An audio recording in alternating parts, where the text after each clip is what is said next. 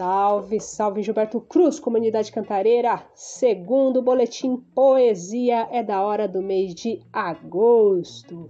Eu sou a Mara Mendes, que prazer estar aqui com vocês na programação do meu caro amigo, com o nosso querido boletim Poesia da hora.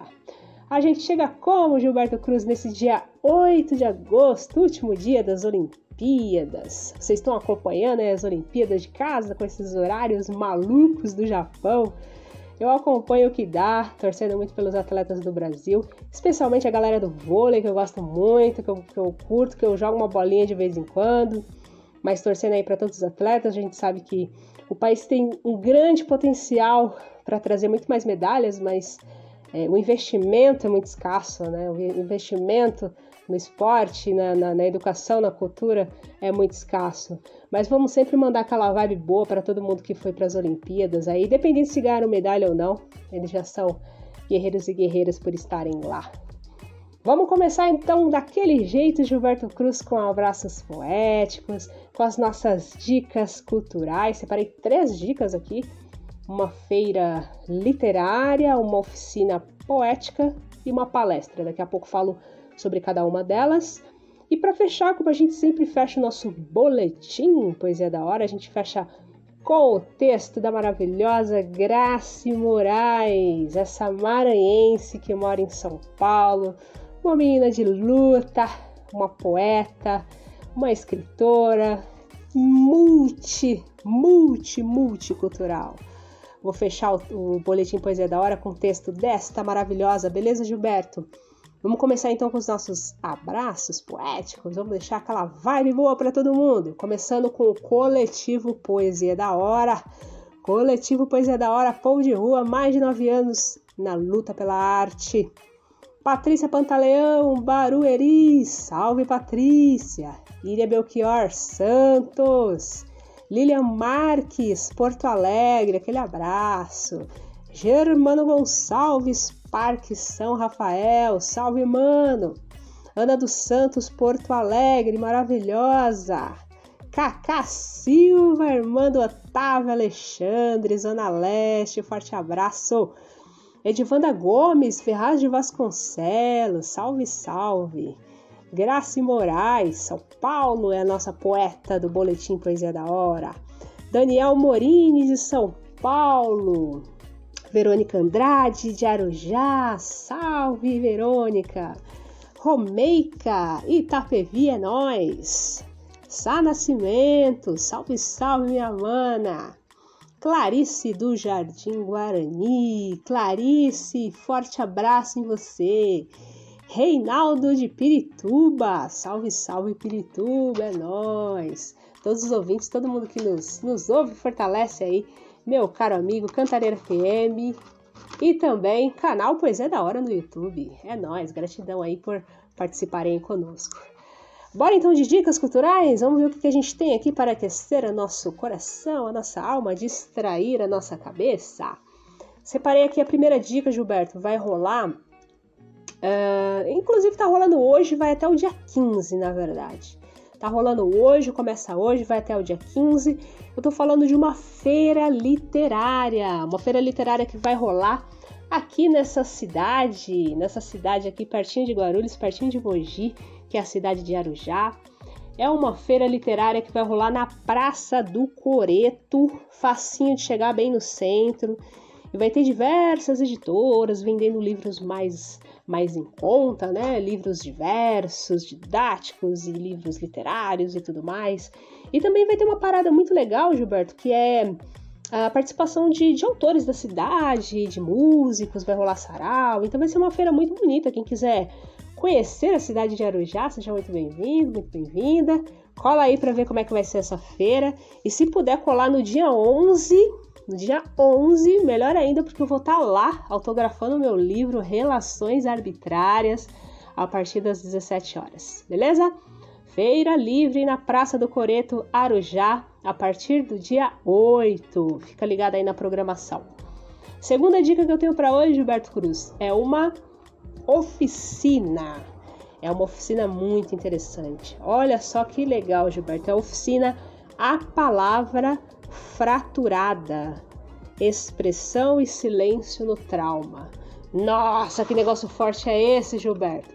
Essa oficina do que que ela fala, qual é que é dessa oficina que vai rolar na Casa das Rosas, ah, no dia 10 do 8. 10 do 8. Essa oficina rola todas as terças-feiras, às 19 horas. Então, para quem quiser saber maiores detalhes, entra lá na Casa das Rosas para ver direitinho do que, que se trata essa oficina.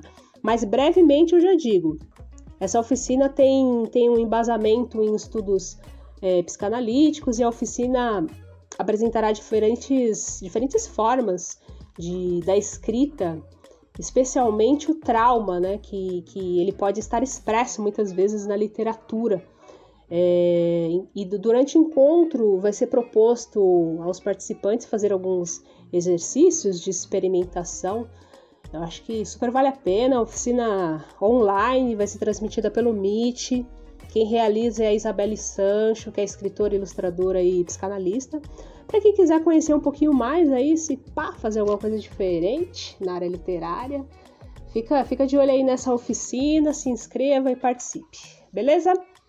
Próxima dica para fechar as nossas dicas culturais, eu separei aqui uma palestra. Uma palestra de um canal que de vez em quando eu falo aqui de algumas de alguns eventos que rola neste canal, que é um canal muito massa de assistir palestras, que é o Filosofia Acadêmica. Tem no Facebook, tem no Insta, procura saber. Filosofia Acadêmica. Essa, essa palestra vai rolar agora dia 14 e se chama Epistemologia Feminista. Epistemologia Feminista. Vai rolar a partir das 19 horas. Quem precisar de certificado também pode pedir certificado. E quem faz a palestra é a Karine Marques da Silva, que é mestra em filosofia. Ficam aí as três dicas culturais, Gilberto Cruz. Espero que vocês aproveitem, porque eu vou aproveitar com certeza. Beleza? Dicas culturais, ok. Abraços poéticos, ok. Agora chegou aquela hora que a gente gosta muito e aguarda demais, Gilberto Cruz, que é a hora da poesia. E a poesia de hoje, Gilberto, traz a sua autora ilustre, que é a Grace Moraes. A Grace Moraes, ela é poeta, performe, licenciada em História, comunicadora social, produtora cultural independente e atualmente se dedica ao canto popular na ETEC de Artes. Esse povo das artes aí são é um povo muito múltiplo, né, Gilberto Cruz? A gente nunca é uma coisa só. Muito louco isso. É, ela é artista maranhense, mas vive em São Paulo há quatro anos. Já desde cedo envolvida nos movimentos artísticos, iniciou na dança popular, participando de grupos culturais na sua cidade natal, que é Caxias, e individualmente é onde atuou como repórter e radialista. Aos 23 anos, decidiu morar em Sampa, a fim de evoluir o campo artístico. Logo lançou-se na música como autodidata e foi se apresentar nos saraus aí, pelas quebradas, por tudo mais. Nessa influência veio a oportunidade de publicar alguns de seus poemas, como Preto e Branco, Avesso às Avessas, Autocrime, entre outros. Em março de 2020 aconteceu o lançamento de sua primeira coletânea pela editora Palavra é Arte. A Graça continua na ativa da escrita poética nos coletivos, organizando e participando dos saraus online, sempre aliviada, aliada à música e à arte de viver. É, Gilberto Cruz, essa é a Graça Moraes e agora eu peço licença para ler seu texto se chama Carne Negra Mais que Presente. É mais ou menos assim. Ei, olha bem nos meus olhos. Sente o peso e o cansaço do passado que me cerca no presente e marca minha carne negra. Foque na força do meu cabelo mesmo sendo queimado pelas mãos dos racistas nojentos que sujam nossa história e por nossa mobilidade social, cota não é esmola. Queimaram as raízes crespas de Anderson, fulano, cicrano, com requintes de crueldade, sabia? Faz alguns dias. Ei, olha bem nos meus olhos. Sente o peso e o cansaço do passado que me acerca no presente e marca minha carne negra. Foque na força do meu cabelo, mesmo sendo queimado pelas mãos dos racistas nojentos que sujam nossa história e por nossa mobilidade social, cota não é esmola. Queimaram as raízes crespas de Anderson, fulano, cicrano, com requintes de crueldade, sabia? Faz uns dias.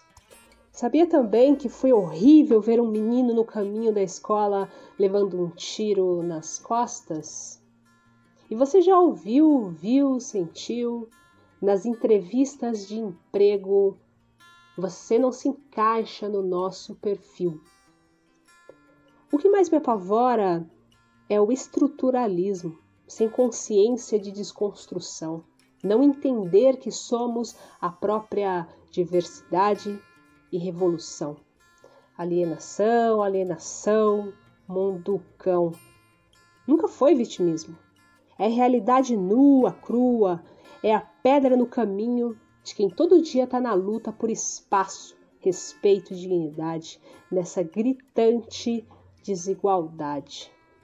E é pela resistência do meu olhar, do meu corpo, do meu cabelo, que não é moda, da carga de nossa história, mesmo no fluxo do caminho do abismo, da ignorância que se mostra.